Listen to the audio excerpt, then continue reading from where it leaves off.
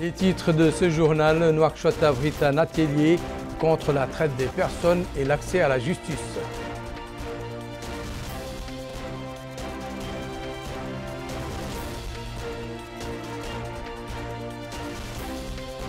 Lancement Djouj de la deuxième édition de la saison culturelle de la grande université El Mahadra Shinqitiya pour l'année 2021-2022.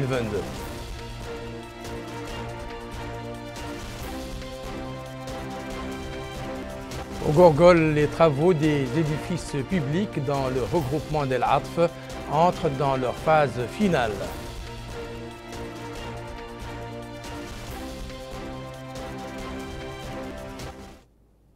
Mesdames, Messieurs, bonsoir et bienvenue à cette édition du journal. Pour vous prémunir de la Covid-19, faites-vous vacciner et respectez les mesures barrières. Je vous l'annonçais dans les titres, le ministère de la Justice a organisé ce mardi à Nouakchott en collaboration avec l'Organisation internationale des migrations un atelier de lancement officiel du projet de soutien au développement des institutions mauritaniennes. L'objectif est de lutter contre la traite des personnes et améliorer l'accès à la justice pour les survivants. Malika Narli nous en dit plus sur les objectifs de ce projet. L'application efficace de la loi 2020-017 qui porte sur la prévention et la répression de la traite des personnes et la protection des victimes est l'objectif de ce projet de l'Organisation internationale de la migration lancé officiellement aujourd'hui à Nouakchott. À travers ce projet, l'OIM apporte un appui technique aux autorités nationales pour la mise en œuvre du cadre institutionnel, y compris l'instance nationale de lutte contre la traite des êtres humains, en réunissant tous les acteurs qui opèrent dans le domaine pour garantir le processus de prévention, de protection et de poursuite. Ouvrant l'atelier, M. Amarul Gassemoul Abdallah, conseiller technique du ministre, secrétaire général par intérim, a précisé que le gouvernement mauritanien a pris un certain nombre de mesures destinées à protéger et promouvoir les droits de l'homme. Il a cité en ce sens la promulgation de deux lois relatives à la lutte contre la traite des personnes et le trafic de migrants et l'adoption d'un nouvel organigramme permettant au commissariat des droits de l'homme de soutenir les victimes de ces violations et d'exercer tous les droits garantis à la partie civile dans les affaires liées à l'esclavage. M. Amar Gassemoul Abdallah a par la suite passé en revue l'importance de cet atelier qui confirme la volonté des autorités mauritaniennes d'aller de l'avant dans la mise en œuvre de la loi 2021-017 relative à la prévention et à la répression de la traite des personnes et à la protection des victimes. Ce projet est financé par le département d'État américain à hauteur de près de 500 000 dollars. Sous l'administration du président Ghazouani, la Mauritanie a pris plusieurs mesures concrètes pour renforcer le cadre législatif sur la traite des personnes et le, trafic des migrants. La mise à jour de ces lois a été un pas important. Nous félicitons la Mauritanie pour ses efforts visant à mettre fin à la traite des personnes. Le gouvernement mauritanien a adopté le décret d'application de l'Autorité nationale de lutte contre la traite des personnes et le trafic des migrants. Cette initiative est une autre bonne illustration de la volonté de la Mauritanie de s'attaquer à ce problème. Le bureau de l'OIM, ouvert en 2006, œuvre auprès du gouvernement mauritanien.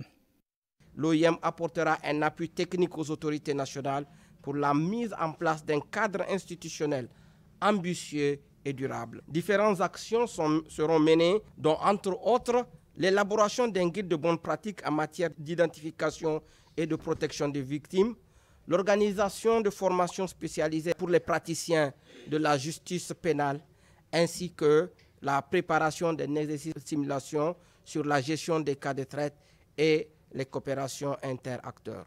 Témoin donc de l'engagement constant du gouvernement mauritanien ainsi que du soutien renouvelé de la communauté internationale, je suis aujourd'hui optimiste quant à notre capacité commune à œuvrer pour la mise en œuvre des solutions concrètes dans la lutte contre ce fléau. Ce projet réunit tous les acteurs qui opèrent dans le domaine pour garantir le processus de prévention, de protection et de poursuite. La mise en œuvre de ce projet se fera en collaboration avec les autorités nationales, les ambassades et les organisations de la société civile. International FMI a visité hier soir le centre de formation des filles de Darnaïm. Cette visite a permis à la délégation de s'informer sur la nature de la mission du centre et les prestations qu'il offre aux jeunes filles. Aminata Khan. Le centre d'activité des jeunes filles à Darnaïm, dénommé Safia, forme depuis sa création des jeunes filles en déperdition scolaire en tenant compte des besoins et en les adaptant à la réalité pour que chaque jeune fille puisse trouver ce qui lui convient. Ce matin, le centre a reçu la visite d'une haute délégation. Sur place, la délégation s'est rendue dans les différents ateliers que compte ce centre. Ils sont allés à l'atelier de couture, à l'atelier d'apprentissage des langues, à l'atelier d'élevage, à l'atelier de la nutrition et de l'informatique. Le représentant du ministre de la Jeunesse a insisté sur la nécessité de multiplier et de généraliser cette expérience dans d'autres Mukata dans le cadre d'une coopération entre le ministère et les communes ainsi que les partenaires techniques. Le centre Safia, qui est implanté dans une zone vulnérable et qui reçoit euh, environ 1400 jeunes filles victimes de déperdition scolaire. Ce centre est aujourd'hui euh, une institution socio-éducative de renforcement des capacités et d'insertion des jeunes filles euh, face à des défis multiples dans, un département parsemé de défis multiples comme la violence, le viol et des autres problèmes sociaux. Pour le représentant du Fonds des Nations Unies pour l'enfance, il a appelé au développement de cette expérience et à sa généralisation dans d'autres régions de la Mauritanie.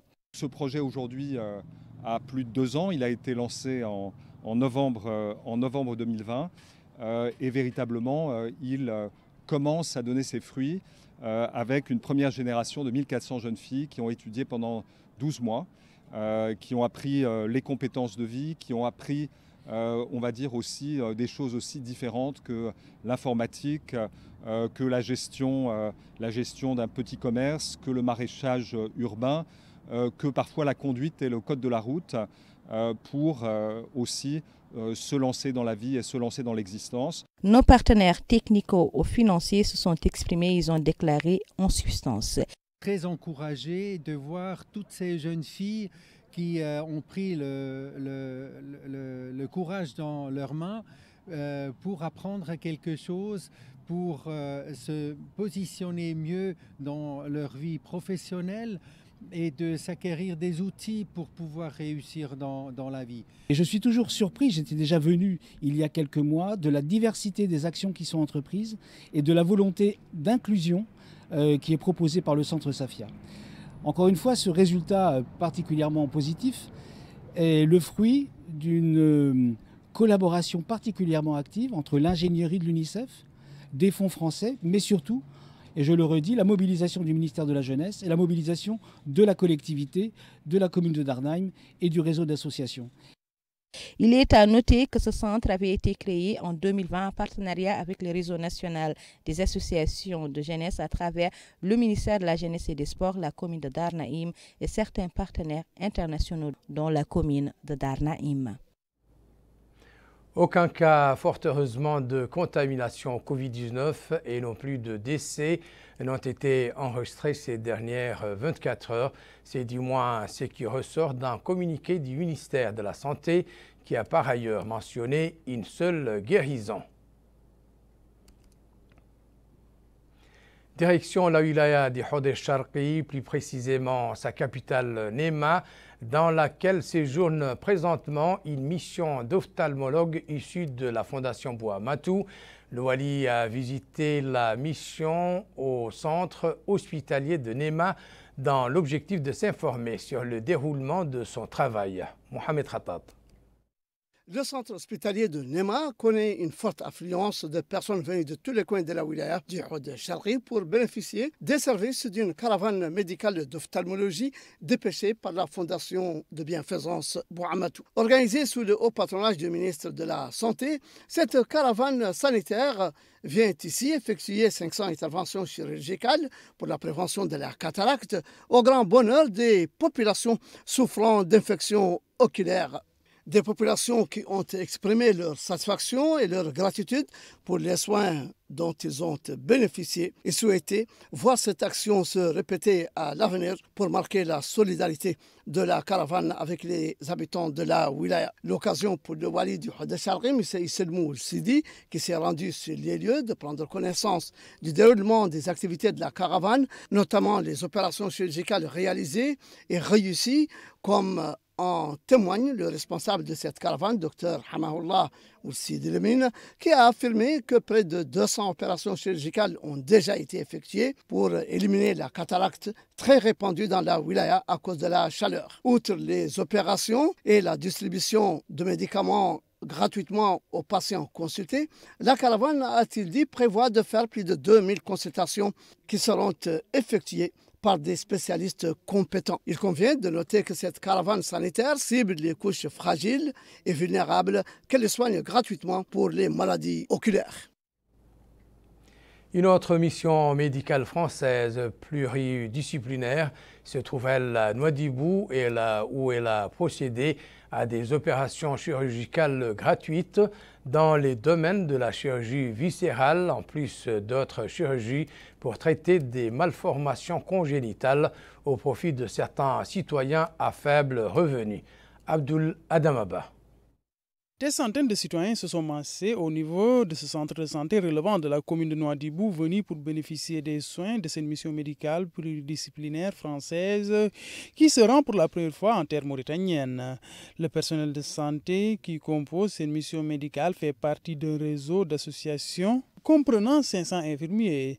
Cette mission médicale a été organisée en collaboration avec la municipalité de Noidibou. Le maire de la commune de Noidibou, Hassan Woulbellal, a affirmé que cette mission va non seulement prodiguer des soins aux citoyens, mais compte aussi transférer son savoir-faire au personnel médical de la ville dans le cadre d'un partenariat avec la commune. En plus de la formation pour le personnel, il sera aussi d'un apport conséquent afin d'équiper les structures sanitaires de la ville. Koreib Hossan, chef de la délégation et par ailleurs président de l'association Connaissance et Échange International, a pour sa part évoqué les objectifs de cette visite médicale dans le cadre de la médecine et de la chirurgie. Il a enfin précisé que toutes les spécialités sont disponibles au sein de cette association. Mohamed Val, Mohamedan participant à cette mission en qualité de membre du personnel soignant de la CINIM, a indiqué que les différents outils nécessaires pour la bonne réussite et conduite de cette mission ont été mis à la disposition des membres de cette délégation. Les bénéficiaires n'ont pas manqué d'exprimer leur satisfaction pour les soins qu'ils ont eu à recevoir. C'est le cas particulièrement des personnes en situation de handicap.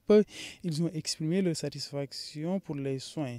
Ils ont aussi mis en avant la bonne organisation qui a caractérisé cette caravane. Toute personne est dotée d'un numéro et le nom du patient est déjà répertorié. On va à présent parler culture avec le lancement hier soir à Akjoust de la deuxième édition de la saison culturelle de la grande université El Mahadra Shankitiya pour l'année 2021-2022. Le coup d'envoi de cette édition a été donné par le Wali de l'Inchiri, Amina C'est sous le slogan La Mahadra Shinqitiya, leadership scientifique et ambassade internationale, qu'a été donné le coup d'envoi de la saison culturelle de la Grande Université Shinqitiya 2021-2022. Supervisant l'événement, le wali de l'Inchiri, Mme Tfaylemet Mohammedan, a, lors de son mot pour l'occasion, Souligner que la consolidation du rôle pionnier propre à la Mahadra Shankitiya représente une priorité pour son Excellence le Président de la République, M. Mohamed Ould Sheikh Razouani, qui a accordé la place qu'il faut aux universitaires et incité les étudiants de l'école coranique et des sciences islamiques à préserver notre patrimoine culturel. Elle a également mis en exergue comme preuve irréfutable de cet intérêt la création d'un prix spécial visant à encourager la récitation et la compréhension des sciences de la charia. Cette saison, qui durera deux mois, constitue l'un des volets pédagogiques les plus importants de l'université, a précisé pour sa part le président de l'université de la Mahadra Shankitiya, Dr Taqiyullah Talib.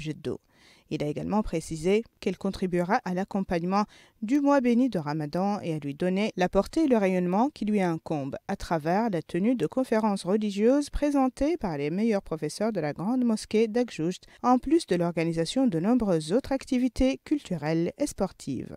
Pour sa part, le coordinateur de cette deuxième édition de la saison culturelle de la grande université El Mahadra Shinkitiya, Dr Mohamed Abdallah Oulbeddin a abordé l'importance de la saison et la diversité de ses domaines d'intervention. Il importe de signaler que la saison verra aussi le lancement d'un concours de mémorisation et de récitation du Saint-Coran, du Hadith Nabawi et des sciences religieuses, à la fin duquel de précieux prix seront remis aux lauréats.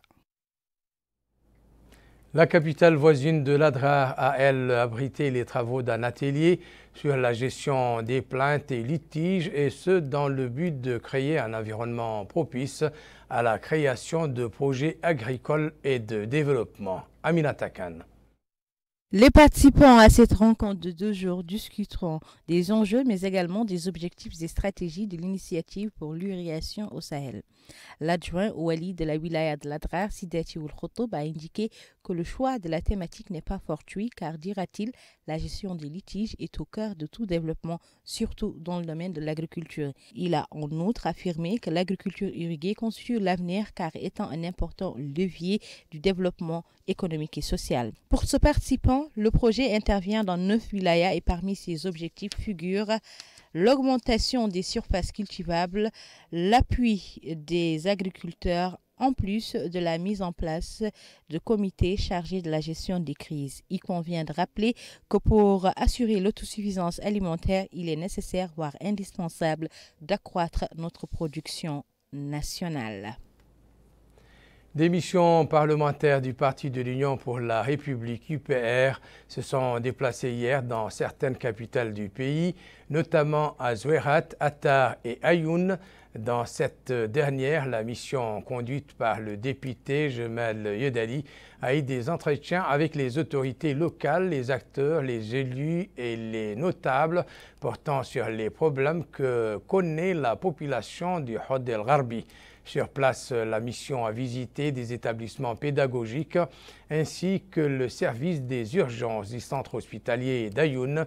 Dans la ville d'Attar, la mission parlementaire de l'UPR a visité les chantiers de l'hôpital du lycée de la ville et du collège de Quenoal, ainsi que le musée de Touizict, le siège de la Somelec et l'espace dédié à l'artisanat et aux métiers.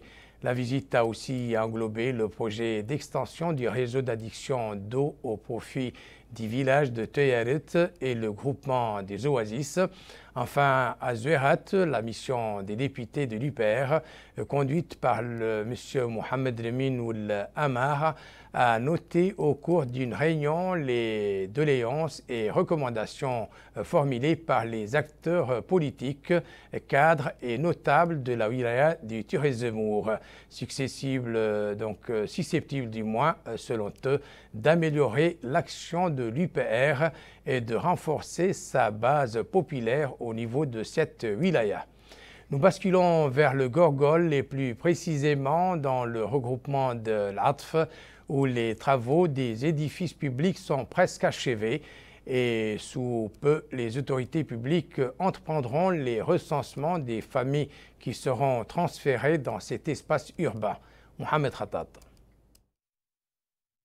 Le site de regroupement villageois d'El Atv constitue dans la wilaya du Gorgol l'un des projets de développement visant l'élimination des campements anarchiques, notamment dans les zones agro-pastorales, d'où la construction de plusieurs équipements sociaux collectifs sur ce site stratégique du regroupement villageois de l'Atv, dont une école primaire, un centre de santé, un complexe islamique, un marché de marchandises, un autre pour le bétail et un abattoir en plus de bâtiments administratifs dont les travaux sont très avancés et un forage à la recherche de l'eau potable dont une grande quantité a été découverte dans les environs de l'Atv. Des installations en cours de construction dans les regroupements villageois de la zone de l'Atv qui ont coûté à l'État plus de 700 millions d'anciennes Ouguia et que les populations se déclarent heureuses de voir le projet réussir, le site tenant compte de la proximité de la vallée pour les agriculteurs, mais aussi de la zone pastorale de l'Ato pour les éleveurs. Le regroupement de l'Umlismet m'a chargé dit ce monsieur, de transmettre au président de la République, M. Mohamed El-Sheikh Al-Qazwani, nos remerciements pour ses réalisations. L'État fait beaucoup ici pour faciliter l'existence, dit cet autre, avec la construction de ces infrastructures de base. Nous avons une école, un centre de santé, des logements, de l'eau, et les populations n'en demandent pas mieux pour euh, rester dans les terroirs. Il est attendu le recensement très prochainement des familles pour leur attribuer des parcelles de logement maintenant que les installations et les infrastructures de base ont été réalisées à l'ATF. Coup de projecteur à présent sur l'activité de vente du couscous à Tijikja, un métier assez lucratif auquel s'adonnent plusieurs femmes dans cette ville. Un reportage signé Naja Jekani. C'est dans cette maison de Tijikja qu'a été créé un projet générateur de revenus au profit des femmes rurales par Madame Limleya. Il s'agit d'une activité de production et de vente de couscous qui permettra la lutte contre le chômage de certaines femmes de la capitale du Tagan. D'après Limleya, ceci offrira près d'une trentaine d'opportunités d'emploi pour les adhérentes. Elle a mis l'accent sur l'importance de cette initiative qui a pour but d'améliorer les conditions de vie des femmes issues de milieux vulnérables et celles en situation d'handicap. Un revenu rentable pour les femmes car la matière première n'est pas coûteuse et disponible durant toute l'année. Pour les femmes, le projet leur facilitera l'octroi de nouveaux financements de la part de l'État. Cet homme représente un groupe qui a décidé d'aider à la réussite de ce projet à travers la participation à la gestion du travail. Il est à noter que les organisateurs espèrent que le projet aboutisse à l'autonomisation de ces femmes et à subvenir aux besoins de leur famille. Nous reformons ce journal par l'hommage rendu par l'Association mauritanienne de natation et de sauvetage à feu Mohamed Salik dit Paipera à l'occasion du premier anniversaire de sa disparition. Aminam Trtil vie au service des pêcheurs et des vulnérables du pays, est le thème sous lequel l'Association mauritanienne de plongée et de sauvetage maritime a organisé un mémorial pour rendre hommage au défunt Mohamed Ould Salek dit Baïpecha. Présidé par le directeur du cabinet du Wadi, M. Sheikh Mohamed Hassan, la cérémonie a été l'occasion, pour le maire de Nouadhibou, de faire des éloges du défunt qui fut pour lui un frère, un leader, un homme fidèle à ses convictions et généreux avec les nécessiteux. Bref, un homme exceptionnel, poursuit Qasm al qui a consacré sa vie au service de la pêche, de sa cause et de la patrie. Les organisateurs ont, pour leur part, souligné l'importance de cette cérémonie commémorative visant à rappeler le sacrifice de Baïpera au service des pêcheurs et de la nation, a expliqué Mohamed Reminou Greimish, président de l'association qu'il a qualifié de père, frère, ami qui n'est plus sur cette terre, mais qui demeurera à jamais gravé dans les cœurs de tous ceux qui l'ont connu. Mohamed Serk, dit Baïpecha, a été reconnu par tous les intervenants qui ont enregistré leur témoignage comme une âme belle et forte, dotée de générosité, de sens profond de la justice et d'abnégation, en plus de son patriotisme et dévouement au service de la patrie, sans aucune autre considération ethnique, régionale ou tribale. Dieu l'accueille dans son saint paradis, euh, Baïpera, que nous avons connu euh, tous pour son humour. Rappelle à présent des principaux titres de cette édition. Nouakchott abrite un atelier contre la traite des personnes et l'accès à la justice.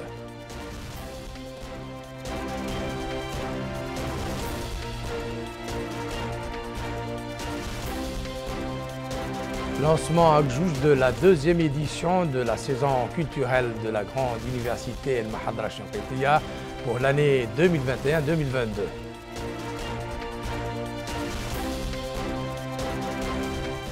Au Gorgol, les travaux des édifices publics dans le regroupement d'El Atf entrent dans leur phase finale.